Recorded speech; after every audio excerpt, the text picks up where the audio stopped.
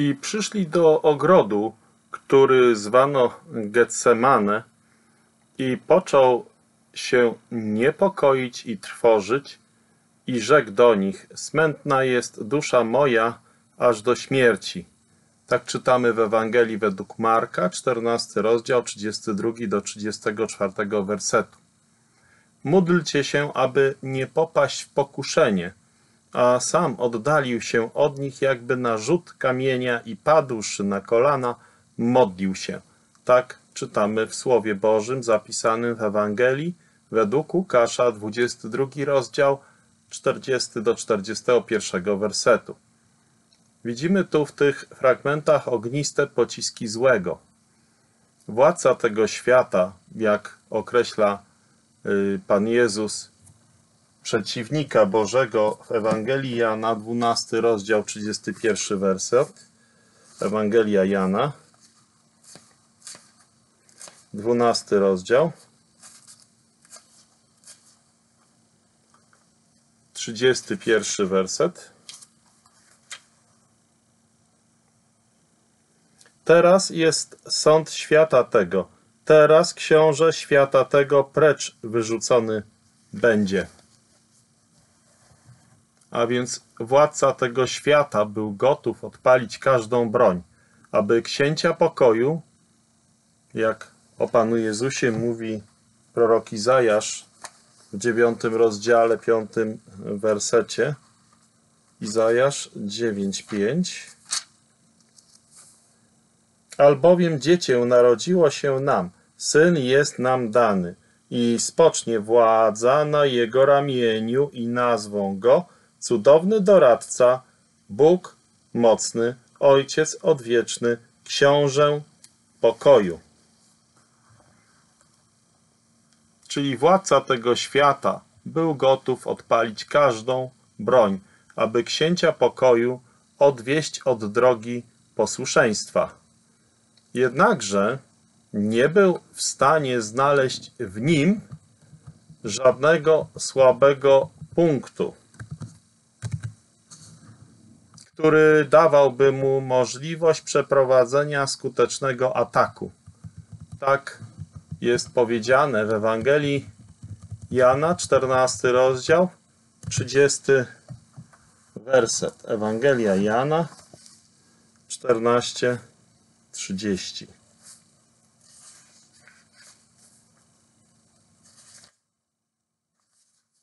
Ewangelia według świętego Jana, 14 rozdział, 30 werset. Już dalej z wami wiele mówić nie będę, albowiem idzie książę świata tego i nie ma on nic we mnie. Już na pustyni szatan, ten wąż starodawny, próbował zwieść Pana Jezusa.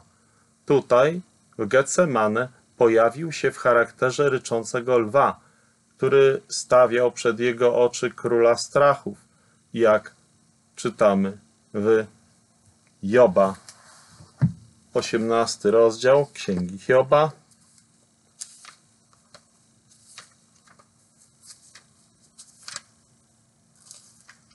I w tym 18 rozdziale, werset 14, zawiera tak: Wyrwany ze swego namiotu, którym czuł się bezpieczny, zostaje zapędzony do króla strachów.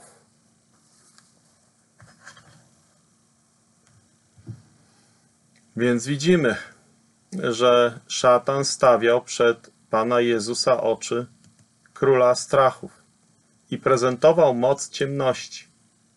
Wypuszczał ogniste pociski w kierunku wiernego sługi Boga i o tych ognistych pociskach mamy świadectwo zapisane w Efezjan, szósty rozdział, szesnasty werset. Efezjan, rozdział szósty, werset szesnasty. A nade wszystko wziąwszy tarczę wiary, którą byście mogli zgasić wszystkie ogniste strzały złego. Pociski, strzały. wypuszczał ogniste strzały w kierunku wiernego sługi Boga, aby jakkolwiek powstrzymać go przed pójściem na Golgotę. Za niespełna 24 godziny ręce i nogi Pana Jezusa miały zostać przebite gwoździami, przytwierdzając go do drzewa przekleństwa. Ciemność, oddalenie od Boga i nie oszczędzający niczego sąd ze strony tego, którego oczy są zbyt czyste, aby móc patrzeć na zło. Stanęły w tych chwilach przed oczyma serca Pana Jezusa. Ciemność, oddalenie od Boga i nieoszczędzający niczego sąd ze strony Boga, którego oczy są zbyt czyste, by móc patrzeć na zło. I Pana Jezusa owładnęły strach, przygnębienie i wstrząsające uczucia. Jakże bardzo musiał się wzdrygać przed tym On, święty, który z całego serca nienawidził bezbożności, jak zresztą mówi nam Psalm 45, werset 8. Psalm 45, werset 8.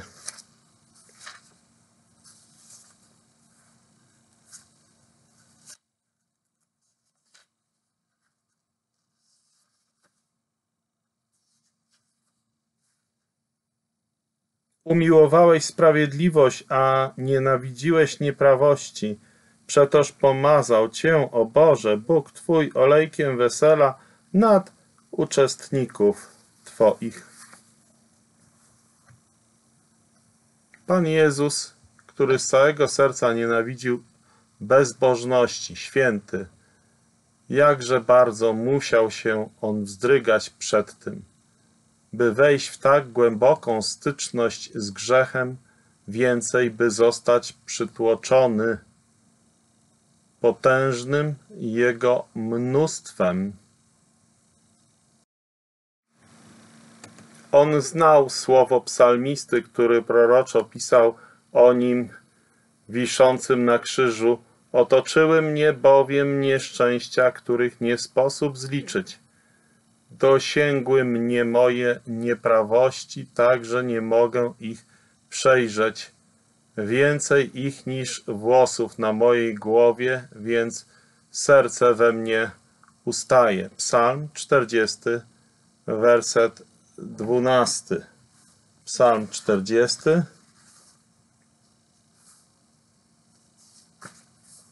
Werset 12. Przetoż Ty, Panie, nie zawściągaj ode mnie litości Twoich, miłosierdzie Twoje i prawda Twoja niech mię zawsze szczegą. Albowiem ogarnęły mię nieszczęścia, którym nie masz liczby, doścignęły mię nieprawości mojej tak, że przejrzeć nie mogę. Rozmnożyły się nad włosy głowy mojej, a serce moje opuściło mię.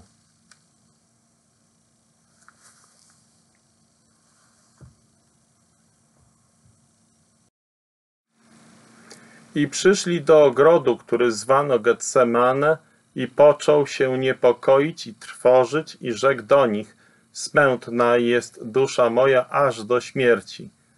Ewangelia według Marka, 14 rozdział, 32 do 34 wersetu. Módlcie się, aby nie popaść w pokuszenie, a sam oddalił się od nich, jakby na rzut kamienia i padłszy na kolana modlił się – Ewangelia według Łukasza, 22 rozdział, 40 i 41 werset. Tak widzimy w tych dwóch wersetach opis ognistych pocisków złego. Pan Jezus oddalił się na rzut kamienia. Około tysiąc lat wcześniej człowiek nazwany mężem według serca Bożego, jak czytamy w Dziejach Apostolskich 13 rozdział 22 werset, Dzieje apostolskie 13:22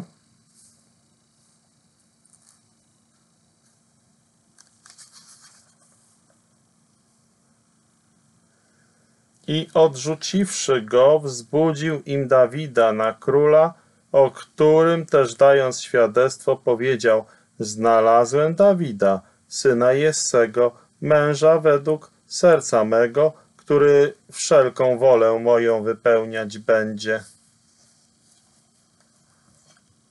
I tenże mąż według serca Bożego zwyciężył olbrzyma Goliata kamieniem wyrzuconym z procy.